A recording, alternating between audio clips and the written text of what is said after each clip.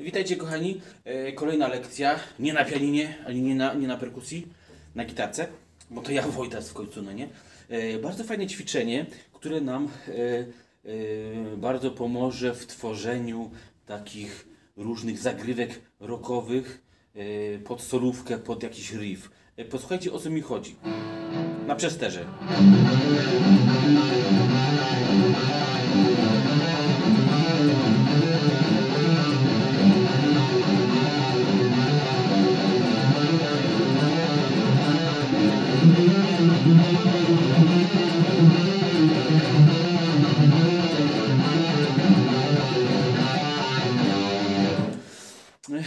Chodzi o to, że my bierzemy sobie e, pięć, e, sorry, cztery dźwięki na gryfie, na najgrubszej 3, 7 i na piątej 3, 5.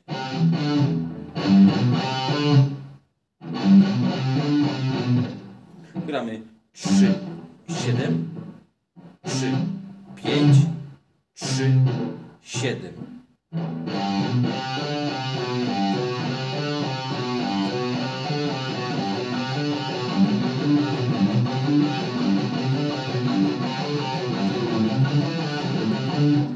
5-8 na najgrubszej i 5-7 na piątej.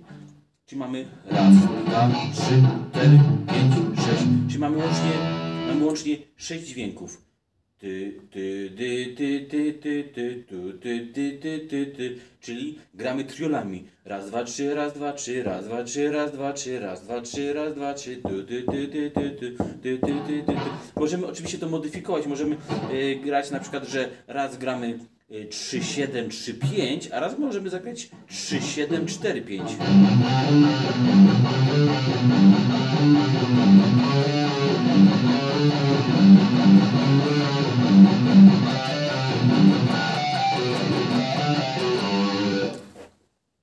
Przećwiczcie to, bo yy, Wojtas patrzy.